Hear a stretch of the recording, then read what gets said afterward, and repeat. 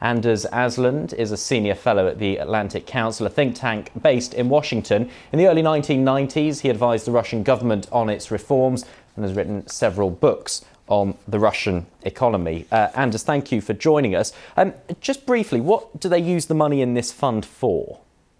This is entirely in order to finance the budget. So what uh, Minister uh, uh of Finance uh, Siluanov uh, today said, it is we will have to use 42 billion dollars out of this reserve fund that is currently 70 billion uh, dollars, and this is a rainy day fund. So it is on the one hand quite a bit of money that they would have to use. On the other hand, if you take the total Russian currency reserves, that's uh, $377 uh, billion.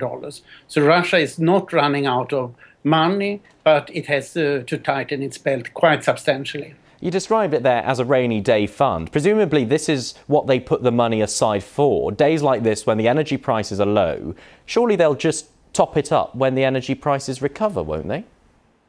Well, if uh, the energy prices recover, last time uh, when uh, energy prices have been high for a decade, they stayed low for two decades. And we might uh, be in for a long period of low oil prices.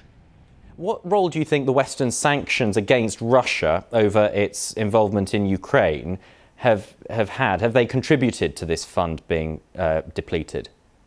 Indeed in a normal case, Russia could simply uh, borrow abroad. Russia's public debt is uh, quite small, 17% of GDP, to compare with uh, 90% of GDP in uh, the European Union on average. But Russia can't borrow abroad. It can only use uh, its own uh, currency reserves. So therefore, Russia is in a, a quite a tight spot because of uh, the Western sanctions but it has been very fiscally conservative wisely before. So therefore, it is not getting into a, into a crisis. Default is completely out of the question.